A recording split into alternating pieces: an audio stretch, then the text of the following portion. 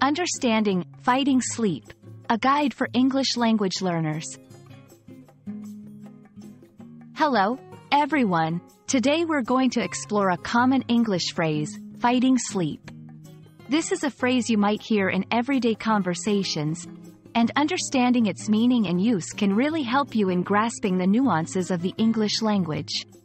So, let's dive in and unravel the mystery of fighting sleep together. Fighting sleep refers to the struggle to stay awake when you are very tired. Imagine you're feeling sleepy, but you're trying hard not to fall asleep. That's exactly what this phrase describes. It's often used in situations where someone is trying to stay awake, perhaps during a late night study session, a long meeting, or even when they're just too tired but need to remain alert.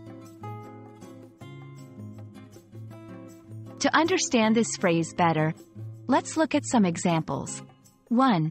During the long drive, I found myself fighting sleep, but I knew I had to stay alert. 2. The baby was fighting sleep, rubbing her eyes but refusing to lie down. 3. After working for 24 hours straight, the doctors were visibly fighting sleep. In each of these sentences, fighting sleep is used to describe the effort to stay awake despite feeling sleepy. Understanding synonyms and related expressions can help you enrich your vocabulary.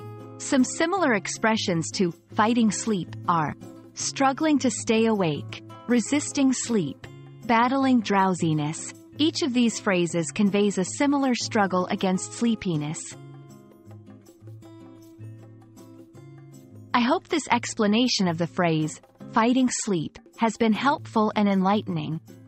Remember, learning a language is all about understanding the little phrases and expressions that native speakers use. Keep practicing, and don't hesitate to use fighting sleep in your conversations when the situation arises. Until our next lesson, keep learning and exploring the wonderful world of English.